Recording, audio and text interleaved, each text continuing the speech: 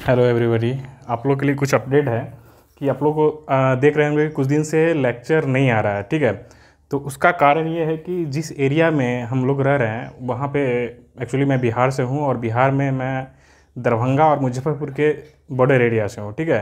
तो वहाँ पे काफ़ी ज़्यादा फ्लड आया हुआ है और फ्लड के कारण क्या है, क्या हुआ है कि हम लोग के एरिया में पावर कट है, ठीक है?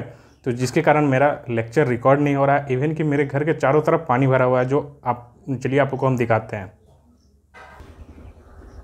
हाँ देखिए, पानी, ये जस्ट मेरे घर के पीछे का है बैकयार्ड और बैकयार्ड के पीछे देखिए बगीचा है और वहाँ पे पानी का लेवल देखिए सड़क वरक पूरा भरा हुआ है। दिखाएँगे सड़क भी दिखाएँगे आप लोग को।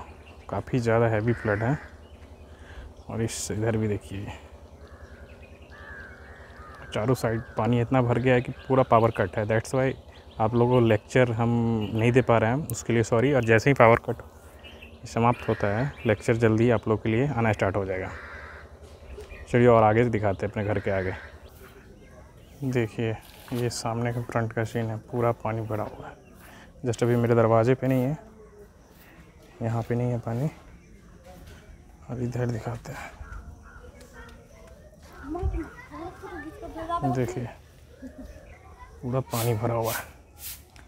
ये मेरे घर के पास का सीन है वेस्ट रोड यहाँ पे देखिए, पानी पूरा भरा हुआ है।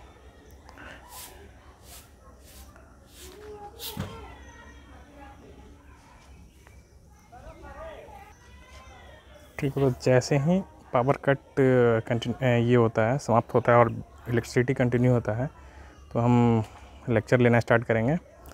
और पृथ्वी एक्चुअली अभी भी पानी बढ़ ही रही है, ठीक है? पता नहीं हो सकता है कि घर में भी पानी आ जाए, नीचे वाले घर में।